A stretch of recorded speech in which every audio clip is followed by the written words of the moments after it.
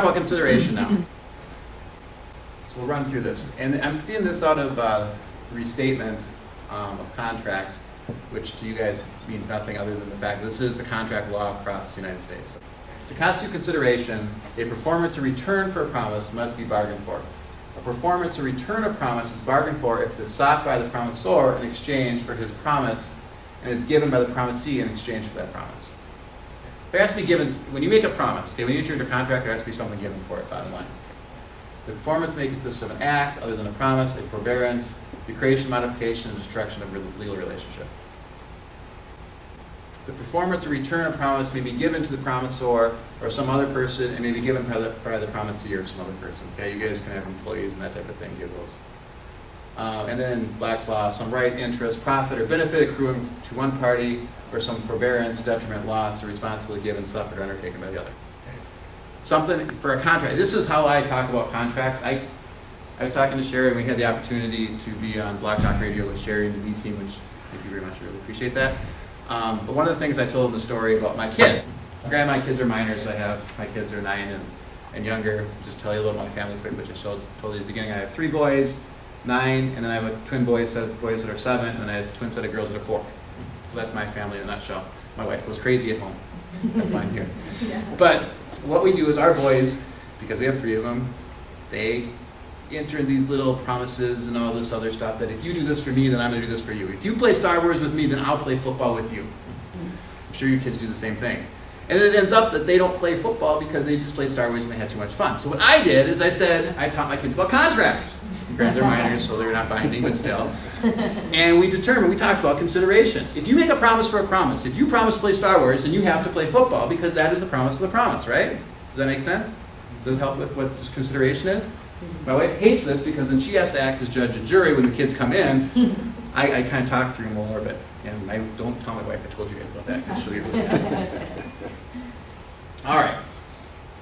Now, let's go back to the shoving stuff up your nose case.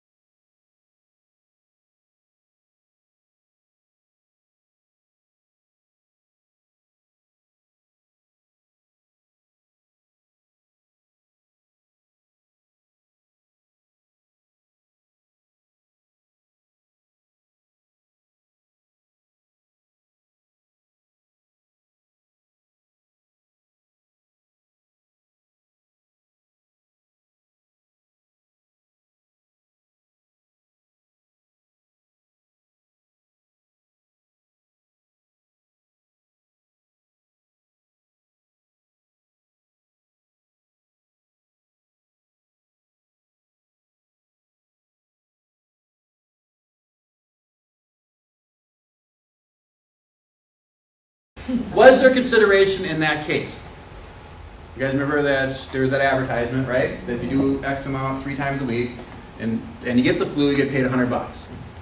She testified that she did it. Was there consideration? There's offer, there's acceptance, but was there consideration? Did it form a contract? Anybody says yes? Anybody says no? Anybody that doesn't really even care and wants to move on? I'll say yes, but I don't understand why. Well, the court said that there was consideration. They determined that the purchasing and or using the smoke ball constitute consideration because there was no benefit to the company for them using it. for the customer relying on the procedures provided in the advertisement. There's no benefit for the company for them relying on those procedures. It really was a detriment to the customer. Customer had to go through and do that type of thing. All right. All right, this is kind of an interesting case. Um, this is why I actually got this book here today, but this is Harris versus Time.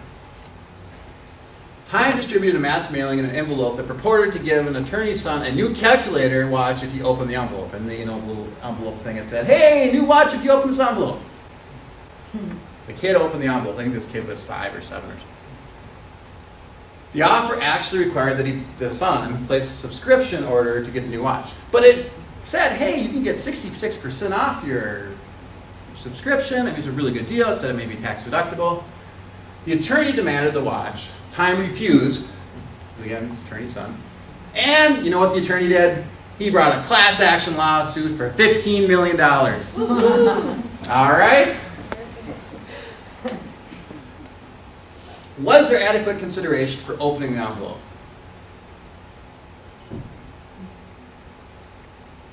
On the envelope, did it say, before you open, you need to purchase? Nope. Yeah. so was Nope, it said, the envelope said, in- inside, kind of hidden in there, just kind of leaking out a little bit, said, if you open this envelope, you get a new watch. Sounds like a deal to a kid, I'm sure. Yeah, it seems a little You know. misleading. So we saw that through the window? Saw through the whittle on the envelope. Was there consideration for opening the envelope? Depends on what the rest of it said after.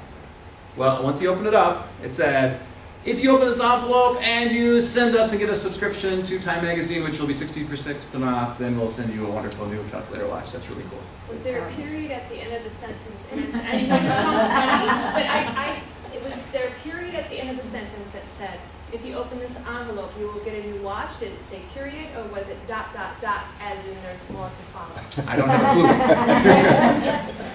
I don't know. That's a good question. Okay, I He don't was a minor, so he couldn't go into the right. contract anyway. So let's call him an adult for our matter, okay? Because out of the $15 million lawsuit and the class action, there was adults too. That's a good. That's why you went with a class action, probably. Yeah. Anybody else think anything? So was there consideration? I haven't heard a yes or a no. I heard a I say yes. yeah. Yes. What? I say yes. Okay, got a yes? Any no's? No.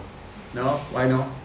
Um, because the consideration probably spelled out in more detail inside that envelope for what they had to do. Okay. And so they weren't fulfilling the written part of the contract. And you got a subscription to time, right? And you want to keep your prices low, right? Yeah. Dan, why, why was there consideration? Because it says if you open the envelope, you're gonna get a watch. Okay, and you open the envelope and you want part of that 15 million bucks, right? No, I'm just Well, trying if to I'm a be kid, I want the watch, right? No, I I want part of the fifteen million, I don't care about the lot. Well, Court the law- the concluded- lawyer's gonna get the fifteen million, right? The court concluded that any bargain for act of forbearance will constitute adequate consideration for unilateral contract. In this case, the court said, yep, there's consideration. All right, so here comes the next question. This is a little bit more interesting. What was the lot, result of the lawsuit? Huh? A watch. I do you guys hope it think? was a wash. I hope it was just a wash. Did they let him go? Did they say, guys, there's time sending out junk mail. Come on, you guys have been snookered by this stuff, right? Don't we hate people that go through in junk mail? Even more than we hate attorneys? Please.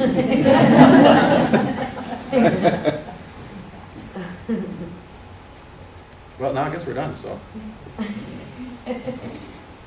There we go. So what was the result? Not 15 million? Okay. The court dismissed the case stating that the present case is de minimis, de minimis in the extreme, Yes. which you guys would probably agree with. I want to read something here because I thought this was really interesting. And this judge, if you guys want to read a really fun case and see a judge just lay into an attorney and lay into um, someone doing junk mailing at the same time, this was a great case for it. As is so often true in life situations these days, the certificate contained both good news and bad news. The good news was that Joshua could save 60%, 66% on subscription, which might even be tax deductible. Good for him, right? Even more important to the bargain hunter, prices might never be this low again. The bad news was that Time obviously had no intention of giving Joshua the versatile new calculator watch just for opening the envelope.